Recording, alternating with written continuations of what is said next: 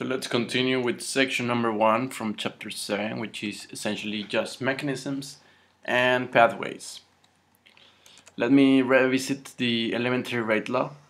If you just stumble upon this video, you should go to my videos in chapter 3 because there I explain you what's elementary rate law.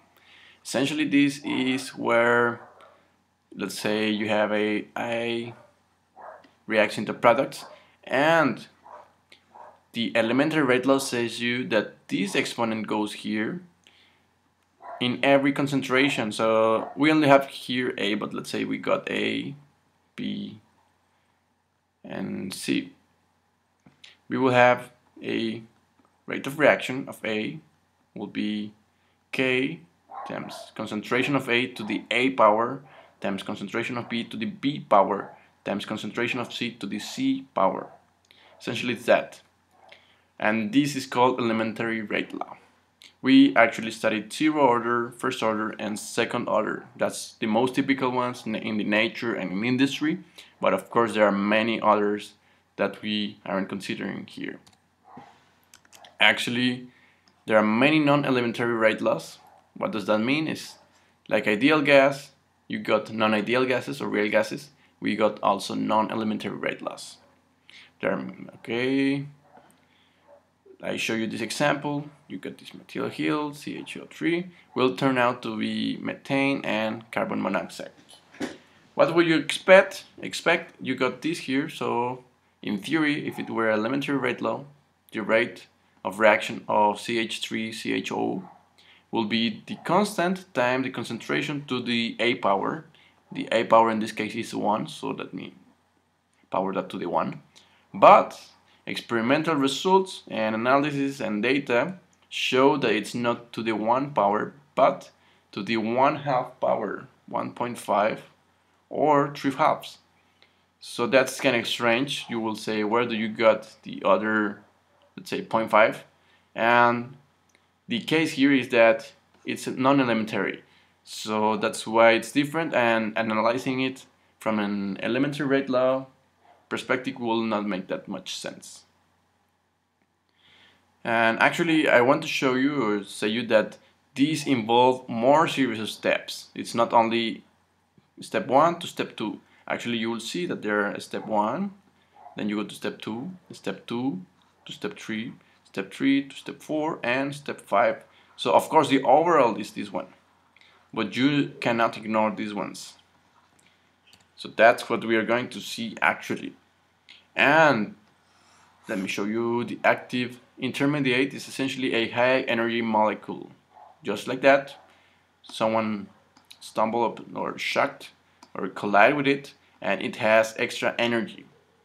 Let's say this is A, maybe M comes here, has a collision here and maybe all the he was this molecule was spinning so fast instead of spinning he the molecule will send all the energy here here. This will stay a little bit not that it's not spinning that much. But this energy is changed into internal or vibrational or whatever energy you want to call it, is going to be active. So you got A plus M they collide and M is now excited or high energy content. And the thing here is this is not stable. Eventually with time it's going to get lost because of course this molecule is going to crash or collide with another molecule. And this is what some free, free radicals are. Probably you've heard the concept, free radicals, especially while burning or food or whatever industry you're hearing. Maybe you hear free radicals and you know that they are bad.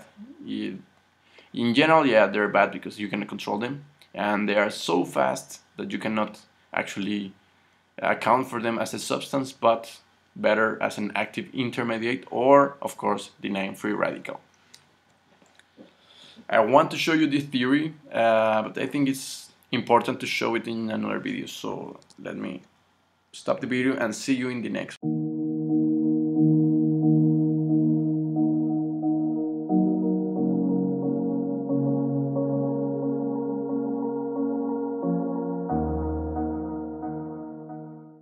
What's up guys? It's me, Chemical Engineering Guy. So if you like the video, why not push the like button? It really helps me to know if you're liking the videos or if I should be changing something or I should be adding something, taking out content, whatever. Also, sharing is caring. So if you got any kind of friends, teachers, colleagues or whatever kind of person that might be interested in this type of content, why not share it?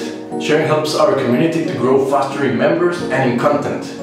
If you want to keep track of my activity, videos, uploads, experiments, playlists, whatever content I'm getting on YouTube, be sure to click the subscribe button. Subscribing to the channel is totally free guys. My dream is to create an online academy of chemical engineering, where everyone can access it in the world. Imagine a place in which the student, the teacher and the engineer get the best of each other